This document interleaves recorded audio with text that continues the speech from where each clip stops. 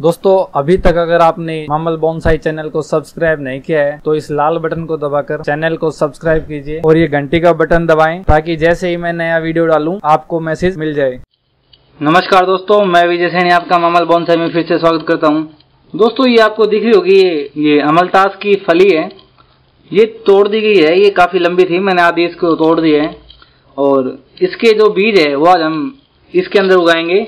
इसके बीज उगाना काफ़ी मुश्किल है बिकॉज़ क्योंकि इसके जो बीज है, वो बहुत ही सख्त होते हैं तो वो जल्दी से जर्मिनेट नहीं होते। उसके लिए एक तरीका ये भी है कि आप इसको पानी में भिगो दें, बीज को, दो दिन तक भिगो दें। जब ये थोड़े से फूल जाएँ, तब आप इनको गमले के अंदर लगा दें। लेकिन आज हम एक दूसरा जो तरीका है, वो यूज़ करेंगे। तो चलिए, पहले जो इसके बीज हैं, वो हम निकाल लेते हैं। तो इसके बीज निकालने के लिए इसको तोड़ना होगा, और ये काफ़ी हार्ड है। तो मैं किसी चीज़ से इसको पहले तोड़ के इसके बीज निकाल लेता हूँ। देखिए, इसके अंदर इस तरह से बीज लाइनिंग में लगे होते हैं, और ये इसके बीज हैं। ये देखिए, जब आप इसको इस तरह से खोलेंगे तो एक अजीब सी स्मेल आएगी इसके अंदर। जब ये फली कच्ची होती है तो हरी होती है, और इस पेड़ की जो सबसे बढ़िया खूबी जो है वो ये है कि इस पे जब फूल आते हैं तो इस पे पत्तियाँ बहुत कम होती है, सारे फूल होते हैं, और उन फूलों की जो खूबसूरती है, वो काफ़ी अच्छी होती है। दूर से ही जो आपका पेड़ है, वो अलग दिखेगा। इसलिए मैं इसको उगाऊँगा। मैं इसका बोनसाई बनाऊँगा। तो आज हम इसका जो बीज है, वो उगाते हैं। तो इसके लिए जो मिट्टी मैं बनाई है, उसके अंदर मैंने हमारे बगीचे की मिट्टी है। बगीचे की मिट्टी, और उसके अंदर जो कोकोपीट है, जो नारियल का बुरादा होता है, वो और जो गोबर की खाद है, वो ये तीनों चीज़ें मैंने इसके अंदर मिला दी है। अब हम इसको इसमें डाल देंगे। कप को हम पूरा भर देंगे इस तरह से और इसके बाद इसको नीचे दबा देंगे हल्का सा इस तरह से। अब हम जो बीज है, उसको तैयार करते हैं। ओके तो अब इसको जो सीड है ये ये अगर हम ऐसे लगाएँगे तो बहुत टाइम लेगा अंकुरित होने में। तो इसके लिए हम क्या करेंगे, इसकी जो ये नोक है, इसकी जो ये नोक है, इसको हम घिस लेंगे। अगर आपके पास जो रेग मार्क है, जिसको इंग्लिश में सैंड पेपर बोलते हैं, अगर आपके पास वो है तो उस पर घिस लें, या फिर आप इसको फर्श पे भी घिस सकते हैं। इस तरह से आप इसको घिसेंगे। तो इस तरह से आप इसको थोड़ा सा घिस लें, और घिस कर जब ये चीज़ आपको दिखने लगे, वहाँ रोक दें। ज़्यादा ना घिसें, सिर्फ़ ये चीज़ दिखने पर आप इसको रोक दें, और उसके बाद आप इसको अपने गमले में लगा दें। तो चलिए अब हम इसको यहाँ पे लगा देते हैं। जो बीज है वो हमने इसके अंदर लगा दिए हैं। अब इसके ऊपर थोड़ा सा जो मिट्टी है, वो और डाल देंगे।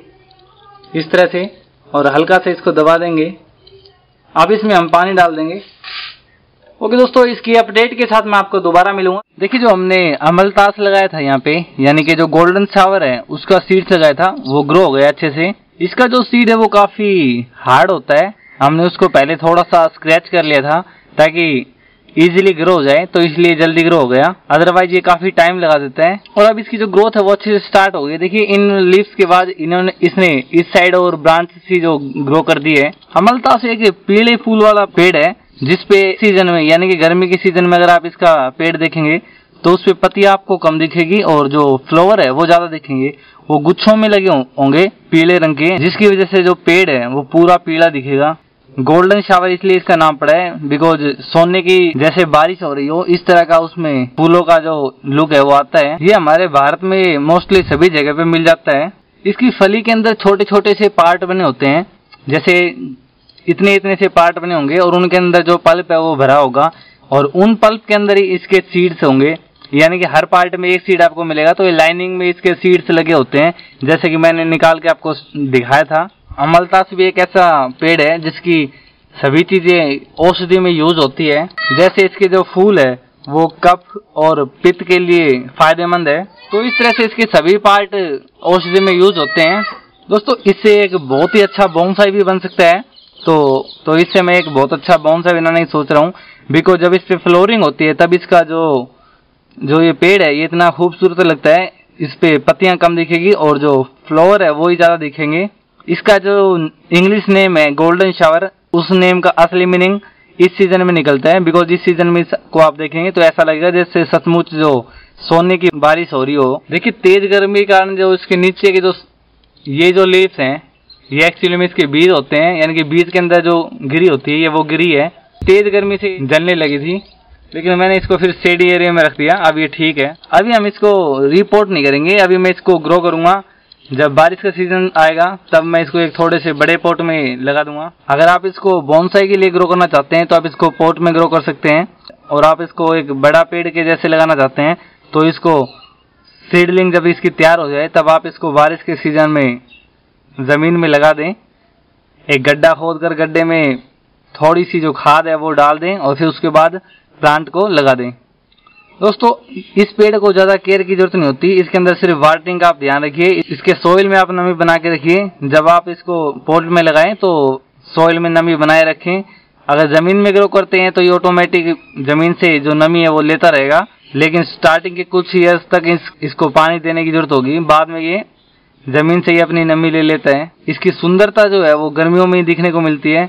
बिकॉज़ गर्मियों में इसकी जो फ्लोरिंग है बहुत ही अच्छे से होती है। अगर गार्डन में आपके में ये पेड़ होगा तो आपके गार्डन में, गर्मियों में एक अच्छी बाहर आ जाएगी। मैं जब इस वीडियो की नेक्स्ट टाइम आपको अपडेट दिखाऊँगा, तब इसका बड़ा पेड़ भी दिखा दूँगा। अगर आप इसको पोर्ट में ग्रो करें तो पोर्ट के लिए आप इसका सोइल ले सकते हैं। जो बजरी है, वो ले सकते हैं। अगर बजरी आपके पास नहीं है तो आप गार्डन का जो सोइल है, उसके अंदर थोड़ा सा गोबर खाद मिलाकर ऐड कर दें। या आपके पास कोई और कंपोस्ट है तो वो ऐड कर दें।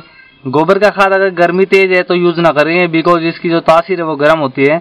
तो गोबर खाद अगर तेज गर्मी में हम यूज़ करते हैं तो वो प्लांट को जला सकते हैं। तो इस चीज़ का आप ध्यान रखिए। ऐसे सीज़न में आप जो पतिया हुआ खाद है, वो यूज़ कर सकते हैं। जब हम छोटे थे और स्कूल जाते थे तो रास्ते में अमलतास के काफ़ी बड़े पेड़ होते थे और उन पे जो फलियाँ हैं, वो लटकी हुई होती थी। तो हम तोड़ कर लेके आते थे और तब जब जो बच्चे थे, आपस में बातें किया करते थे कि जब जो अमलतास की फली है, इसको अगर हम ध्यान रखकर सोएँगे तो जो बुरे सपने हैं, वो नहीं आएँगे, सिर्फ़ अच्छे सपने आएँगे। ऐसा माना जाता था। ओके दोस्तों तो इस बारिश के सीज़न में आप भी जो अमलता है वो ग्रो कर सकते हैं गोल्डन शावर ग्रो कर सकते हैं। ओके दोस्तों नेक्स्ट वीडियो में फिर मिलेंगे, तब तक के लिए नमस्कार, शुक्रिया।